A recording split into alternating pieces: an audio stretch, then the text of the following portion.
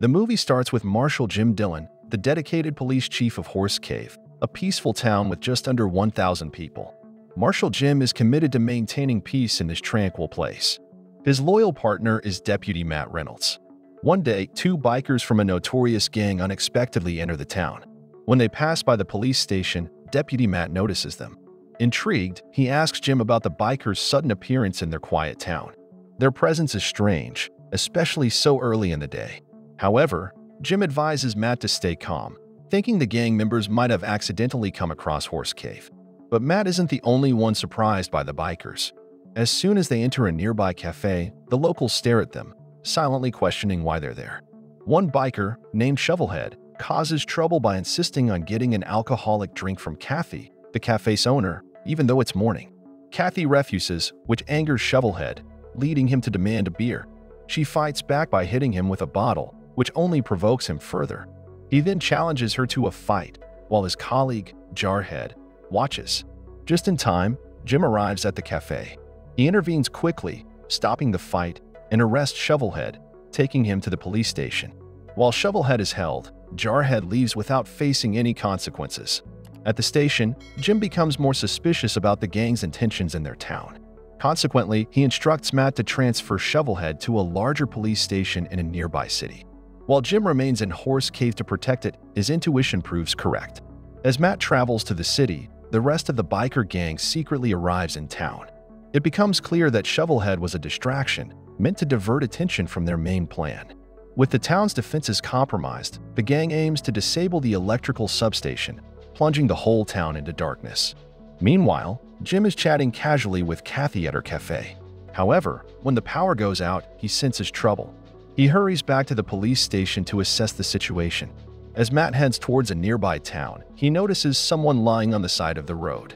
Thinking the person is injured, he approaches without suspicion, only to be ambushed. The individual turns out to be a member of the biker gang, and as Matt gets closer, he's held at gunpoint and captured. The gang has more tricks up their sleeves besides the initial deception. While on patrol, another police officer notices a speeding van. As the officer pursues the van and instructs the driver to exit, other gang members ambush him and fatally shoot him. A gang member named Dirty Bob then disguises himself in the officer's uniform and takes control of his patrol vehicle. Meanwhile, in Horse Cave, Jim attempts to contact other police departments for assistance. However, the gang disrupts the communication lines, blocking any outside help. The town is effectively isolated, Jim becomes even more worried when he hears the distinct sound of motorcycles approaching.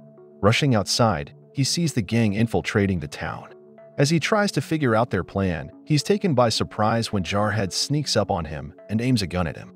The gang's plan becomes evident. They intend to rob the local bank. Diablo, the gang's leader, knows Horse Cave well since he grew up there. This deep understanding of the town and its police force allows him to create a detailed plan for the heist, aware of Jim's possible responses and limitations.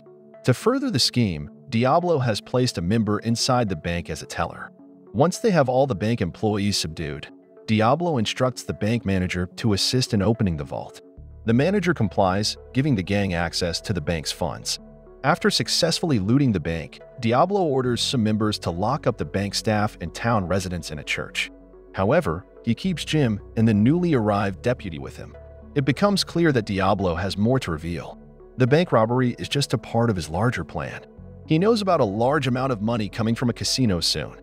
Determined to steal it, Diablo plans to intercept the armored vehicle carrying the casino's cash. The two guards with the armored vehicle are unaware that their destination bank has been robbed, thanks to Diablo cutting off all communication from the town effectively. While they wait for the truck, Sudden gunfire breaks out, coming from a skilled elderly sniper hidden from view. He systematically takes out gang members, forcing the rest to hide. Amidst the chaos, Jim and Matt quietly escape. Without realizing it, Diablo inadvertently captures a frightened woman nearby.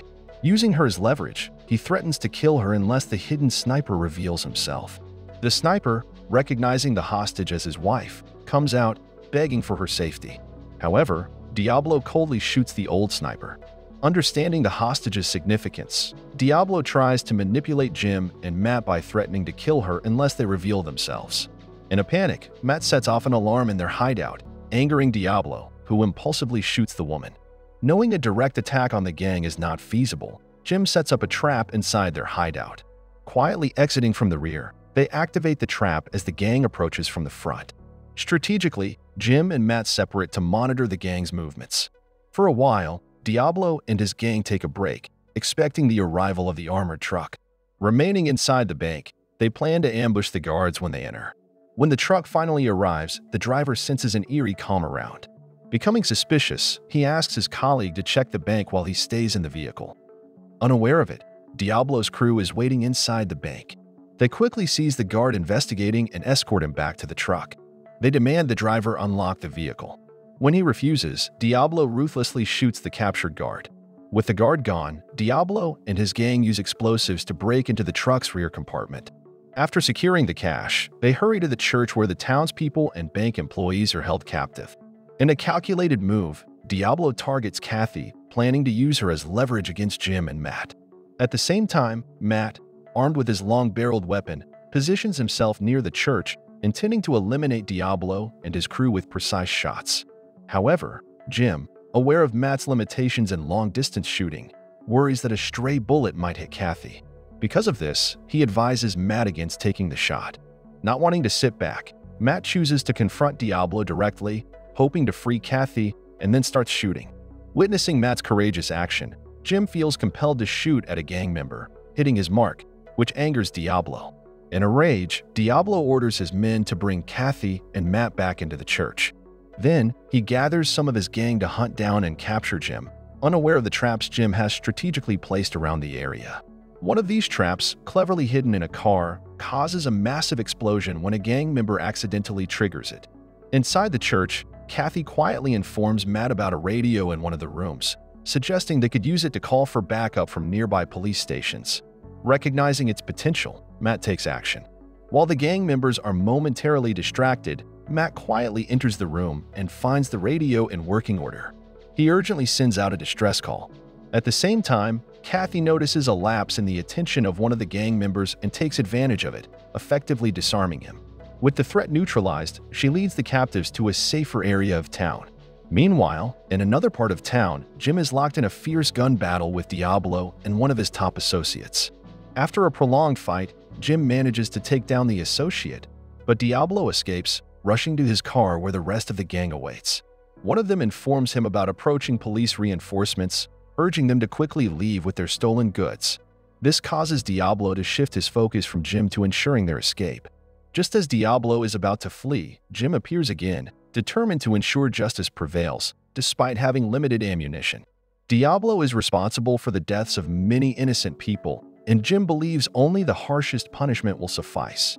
He relentlessly pursues Diablo, who tries to escape on a stolen motorcycle. Their intense chase is short-lived as Jim's precise shot causes Diablo's bike to skid and crash. With injuries, especially a damaged leg, Diablo finds himself trapped and unable to continue fleeing. Jim, firm in his decision and convinced that Diablo's actions deserve the highest penalty, takes aim and delivers the final blow. This action brings a sense of peace back to the town of Horse Cave. Resuming his role as a law enforcer, Jim strengthens his relationship with Kathy, his partner, signaling a new era of hope and the potential for better days ahead for the community. Don't forget to subscribe and turn on the notification bell if you want to watch more videos like this. Thanks and see you again soon. Take care.